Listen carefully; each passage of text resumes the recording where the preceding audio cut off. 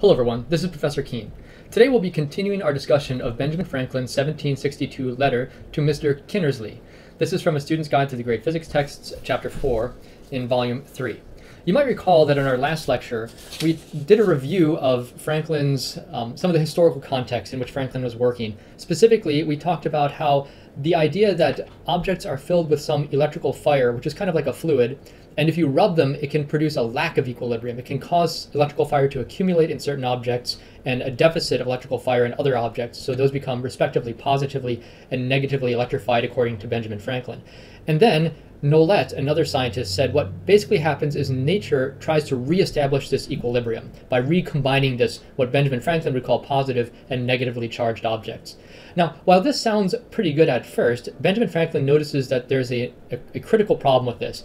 In particular, it implies only attractive forces. As equilibrium is, equilibrium is attempted to be reestablished in nature, positive and negative charges are attracted to one another. But it doesn't really explain repulsion. So he finds repulsion very difficult to explain on this theory.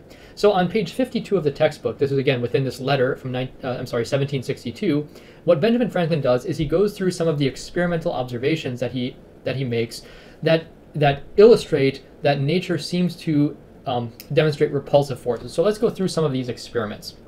This again is on page 52 of the text. So I'll call this, he doesn't number them, but I'll call this experiment number one. And I'm not going to draw an entire apparatus, I'm just going to draw the critical parts of an apparatus. So in experiment one, he mentions, imagine you have a conductor, so a conducting ball, like a metal ball with a metal rod, and imagine a metal, um, kind of a metal plate or something sticking to the bottom. And hanging from this metal object are two threads with cork balls. Okay, so these are cork balls. And this up here, along with all this, is metal. It's a conductor. That's the important part. And this, of course, is supported somehow, but I'm not drawing the supports.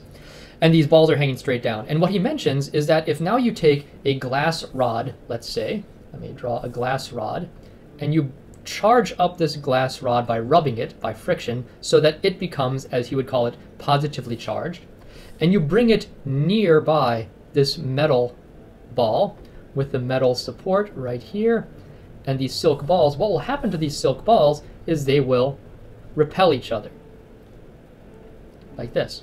Okay? So as you bring this near to that metal, these silk balls, I'm sorry, these cork balls will repel each other. And then if you remove this glass rod from the vicinity of this object, then what happens is these cork balls will swing back toward each other. Okay, so you pull this away and these swing back toward each other and are no longer repelled.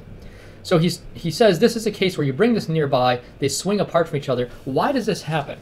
Well, it's um, he says it's a bit confusing because you're not actually touching this to it. All you're bringing, doing is bringing this nearby, and when you bring this nearby, these repel each other. Now, what he's suggesting happens here, and we'll explain this in a bit more detail in a moment, but what he's suggesting happening is this positive, positively charged object, again, it has an excess of this electrical fire in it. It repels the electrical fire that's on this side of the metal down into here, which renders these objects positively charged and this negatively charged. So whatever equilibrium electrical fluid is in here, it's pushed away by this positive charge, leaving negative charge here and positive charge over there, and these positive charges repel each other. So in a sense, you're polarizing. So there's a polarization of the apparatus. And by apparatus, I mean this thing right here. This whole thing right here is the apparatus, okay? This, by the way, is a principle of how an electrometer works. He doesn't use the term electrometer, but an electrometer tests whether an object you bring near to it is positively charged by having some very light balls or maybe some gold foil hanging down here that swings apart. Okay? And then when you pull this away, the positive charge on this end negative charge on this end then equilibrate, the whole thing becomes neutral, and they swing back together. Okay? So that's how he explains what's happening here. What about his next experiment? We'll call this experiment 2. It's very similar in that you have a glass rod that is positively charged, and you bring this glass rod nearby this same apparatus, And when you do so, these balls swing apart from one another, like this. And again, I'll, I'll draw pictures to illustrate what he thinks is going on in here. These positive charges repel these positive charges, leaving negative charge right here. And then he says, let's imagine while this is held nearby, so I'm going to redraw this. While this is held nearby, let's suppose you were to take your finger, uh, let me draw the glass rod once again. You brought it nearby, it's positively charged. You take your finger and you touch this end. So this is supposed to be your finger. You touch this end right here. So this is supposed to be your finger.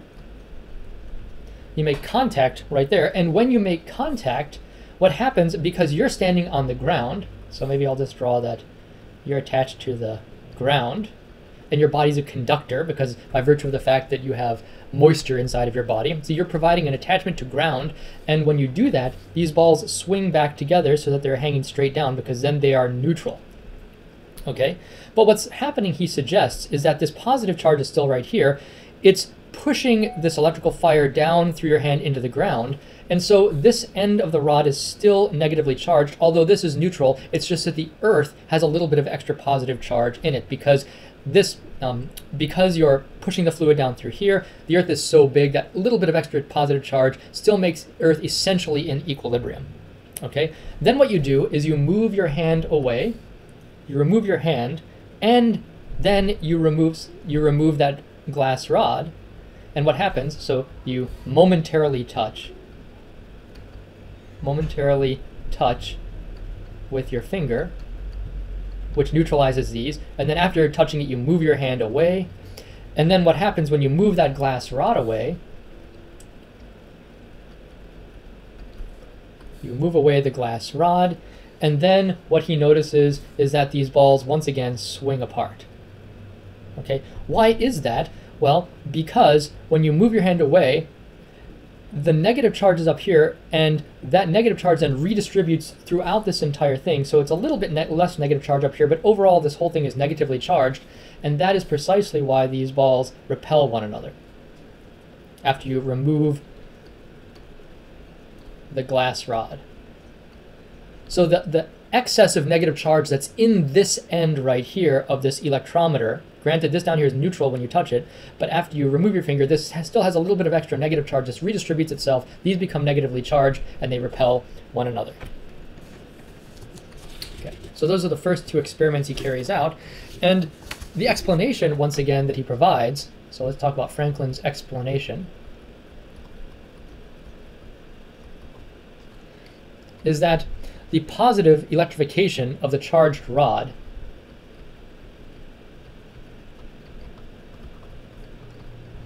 The charged glass rod had repelled it repelled the electrical fire as he would call it away from itself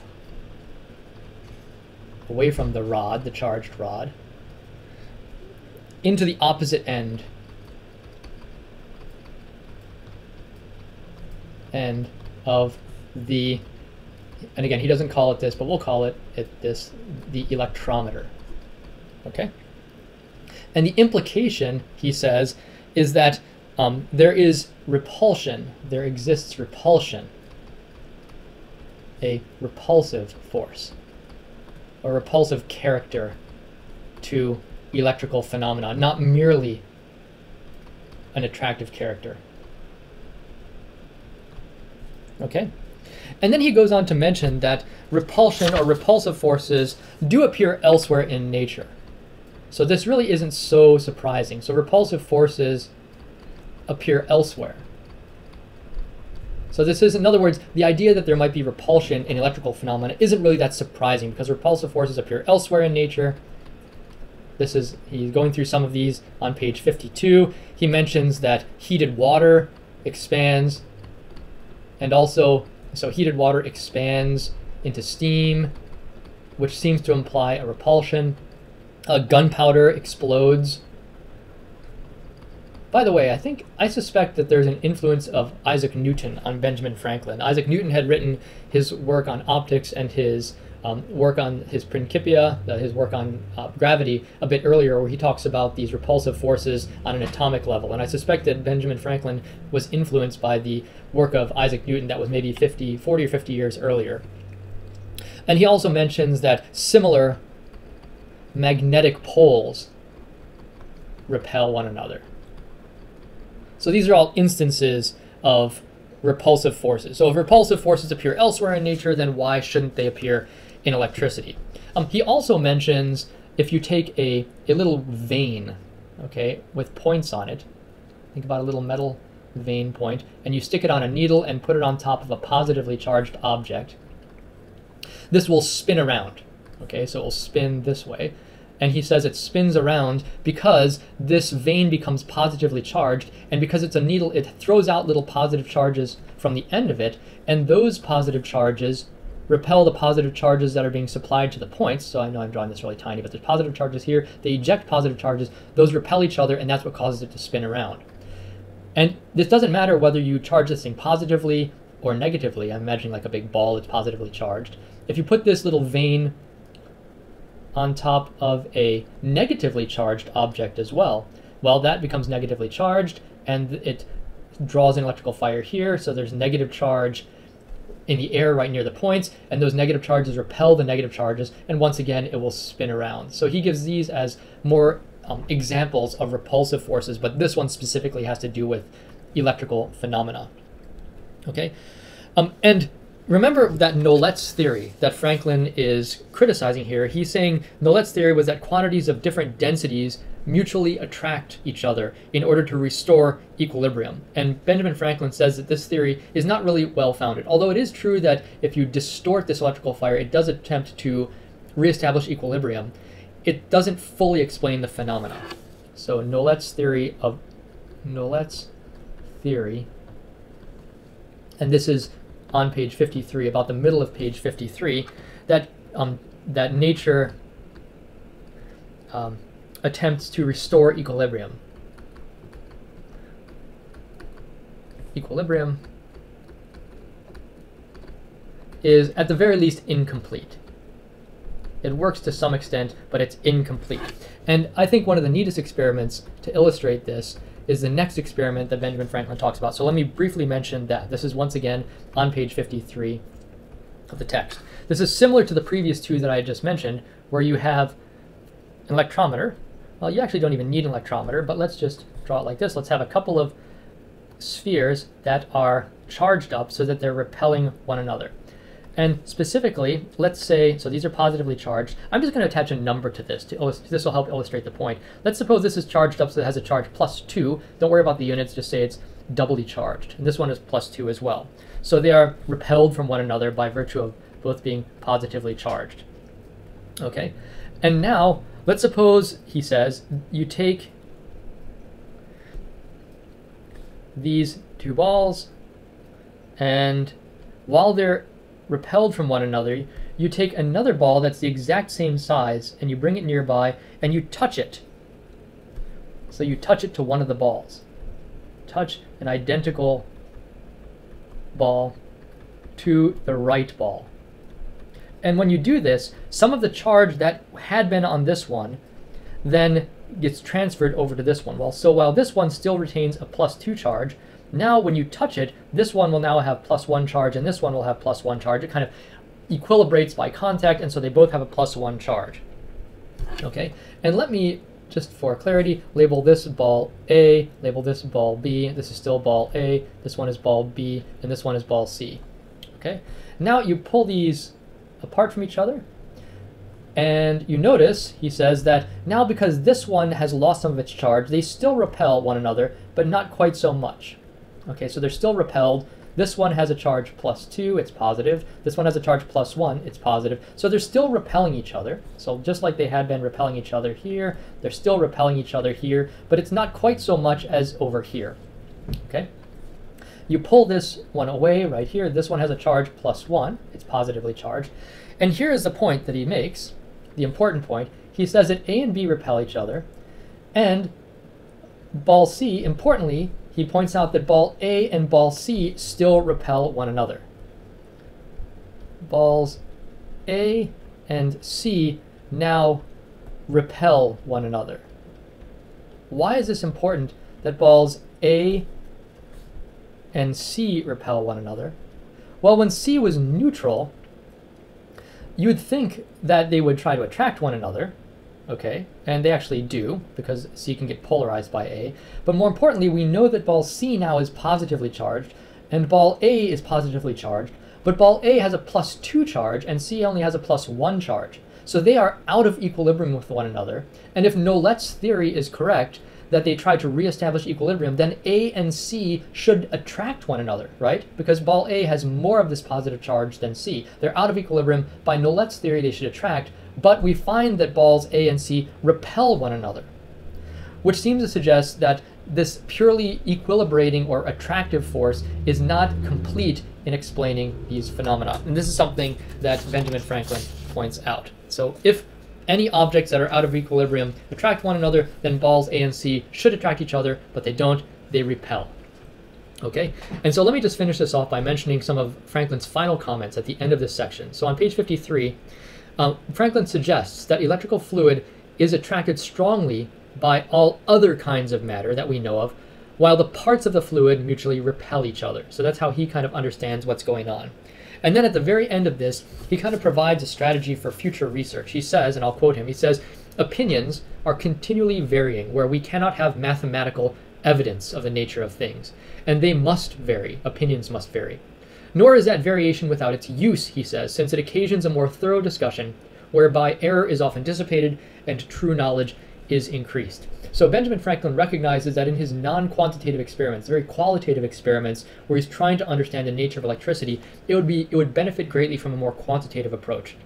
And that's what's precisely going to happen in our next reading when we study the work of Coulomb, Charles Coulomb, where he takes a quantitative approach to trying to understand the force of repulsion between charged objects. Before we go into the work of Charles Coulomb, let's just finish out our work with Benjamin Franklin by talking about his work with the kite. And we will pick that up next time.